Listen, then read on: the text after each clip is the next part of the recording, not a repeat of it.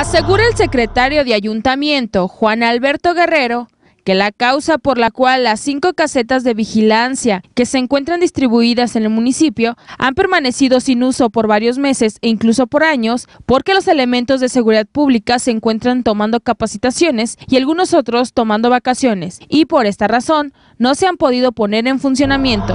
Bueno, sí, efectivamente tenemos algunas casetas de seguridad pública en el municipio.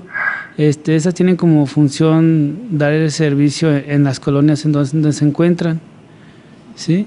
Actualmente, bueno, algunas de ellas no se les ha dado el, seguimiento porque en esta época es un periodo en el cual los elementos de seguridad pública, algunos de ellos han tenido que acudir a capacitaciones y algunos otros estaban de vacaciones, pero a la fecha ya se han reincorporado, entonces ya se les va a estar dando el seguimiento. Respecto a si se pondrán en función, Juan Alberto aseguró que aunque no se vaya a contar con la presencia fija de los elementos de policía, sí se pretenderá tener una vigilancia constante para poner en función estos edificios que hasta el momento se encuentran sin uso ni beneficio alguno. Actualmente tenemos cinco casetas aquí en la ciudad, sí, que es en la colonia La Esperanza, en la Linda Vista, en lo que es este San Cristóbal, también tenemos una en lo que es el módulo Fobiste y la otra en la colonia Independencia.